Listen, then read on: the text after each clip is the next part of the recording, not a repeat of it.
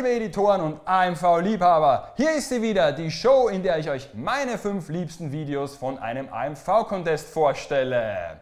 Nun, eigentlich sollte jetzt hier im Hintergrund das Dokumi-Logo in Leuchtlettern prangern, Mates aus dem Mate-Café sollten den Conga tanzen, der Degen höchstpersönlich von einem 15-Meter-Turm in ein Becken gefüllt mit Muffins springen.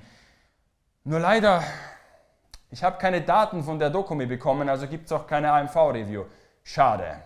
Stattdessen müssen wir uns wohl mit Hausmannskost aus Linz begnügen, der AMV-Contest von der Nyancon.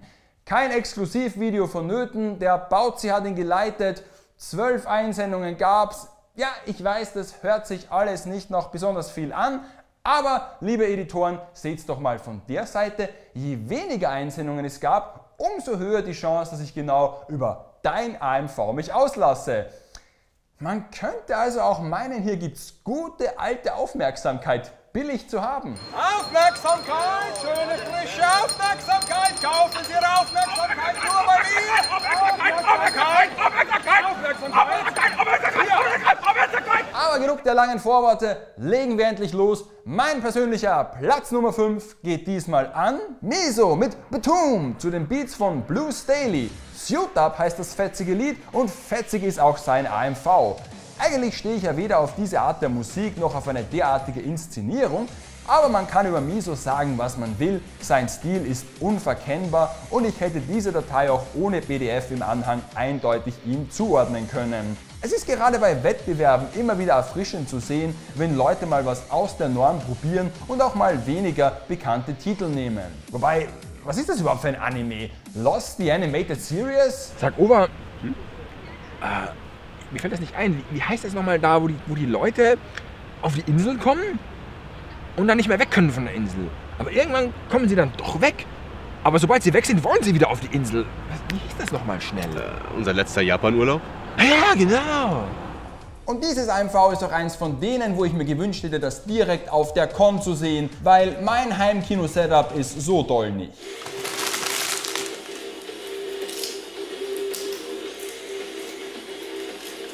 Also, mein Platz 5 geht diesmal an dich, Miso, weil sich dein AMV zumindest schön aus der Masse hervorhebt. Und technisch schlecht gehandwerkt ist es natürlich auch nicht.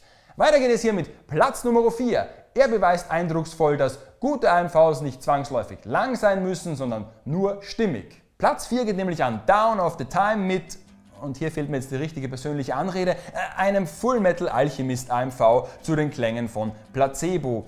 Ich war mir die ersten 10 bis 15 Sekunden nicht ganz sicher, was ich von dem Video halten soll, aber es hat mich in dem Moment überzeugt, als Edward zu Trying Not to Forget seine Taschenuhr zuklappt. Das hat so gut gepasst, dass es schon wieder beinahe unheimlich war.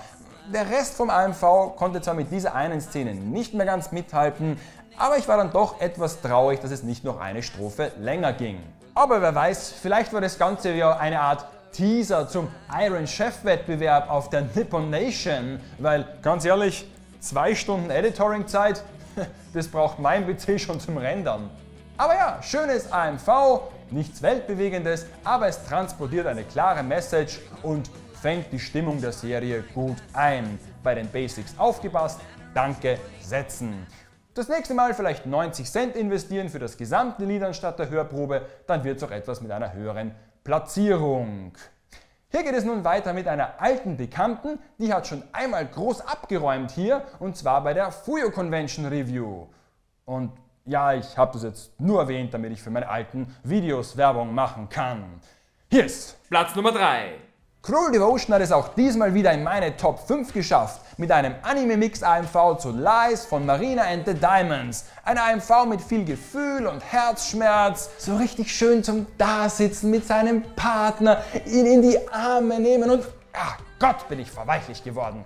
Gut, konzentrieren wir uns lieber auf den technischen Aspekt. Entsättigte Farben, massenhaft Lyric-Einblendungen, wie wir sie alle lieben, und das obligatorische Quoten-WMV im gesamten Starterfeld. Äh, zählt WMV jetzt eigentlich schon als Filter? Dieses AMV, das schaut viel zu gut aus für den Wettbewerb. Hm, ich muss da was ändern. Ah, ich hab's. Export. WMV Enter. Ha, schon viel besser. Ansonsten ist es aber ein wirklich schönes AMV, stimmig mit ein bisschen diesem Nostalgie-Touch. Es kann natürlich auch sein, dass es sich hierbei um ein etwas älteres Werk handelt, weil der Wettbewerb war ja nicht exklusiv. Das würde dann auch erklären, warum es gar so weit hinter das von der Fuyucon zurückfällt, zumindest was das Technische anbelangt. Aber sei es wie es ist, Platz 3 ist auch schön, gratuliere dazu. Das ist ja normalerweise der Platz, wo man so eine Packung Buntstifte und äh, Volume 4 aus irgendeiner DVD-Reihe bekommt. Viel Spaß damit. Hier geht es nun weiter mit Platz Nummer 2 mit jemandem, der auf den schönen Namen Swordhamster hört und mit seinen vielen Animes Bautzis Excel-Formatierung zerschossen hat. Daraufhin hat er das AMV einfach umbenannt in Error 514 Anime Overflow.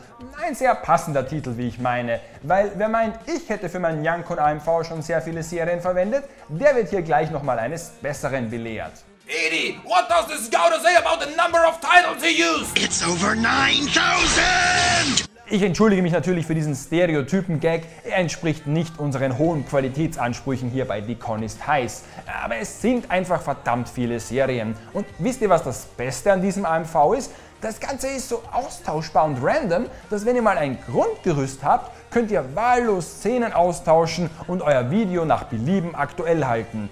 Ziemlich clever, dieser Hamster. Aber ich muss schon sagen, 10 Sekunden Angel Beats am Stück am Anfang, da, verschenkte Zeit, da hätte man locker noch fünf andere Serien reinpressen können. Für so viele Titel war das AMV auch auflösungstechnisch auf einem sehr gleichbleibend hohen Niveau und ich mag den Touch, dass es mit Klavier anfängt und mit Klavier aufhört. Aber ich habe das erst jetzt wieder bei meinem ersten Multititle AMV gesehen, wie einfach diese Sachen doch zu editieren sind. Du suchst dir einfach die besten Trailer-Szenen aus all den Serien zusammen, wirfst sie in einen großen Topf, rührst einmal kurz um und fertig ist das AMV, das eigentlich viel spektakulärer aussieht, als es in Wirklichkeit ist.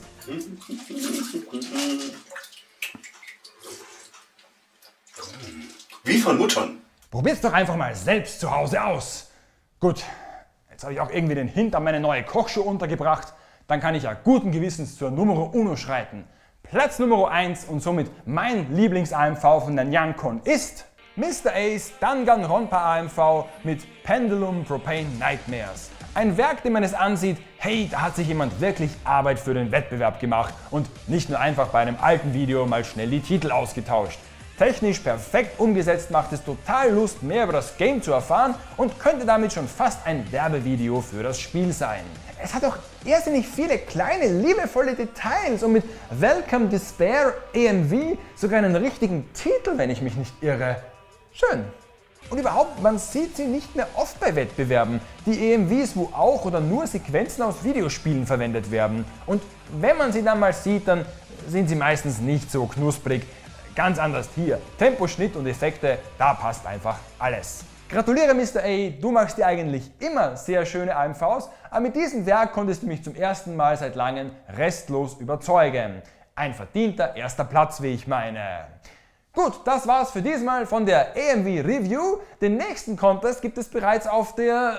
Äh, Moment mal, ich schrieb das Skript hierfür vor 10 Tagen. Aufnehmen durch es heute, auf Sendung geht's bald. Also eigentlich müsste ich sagen, den nächsten Contest gibt es bereits auf der Nippon Nation. Einsendeschluss war irgendwie vor 10 Tagen.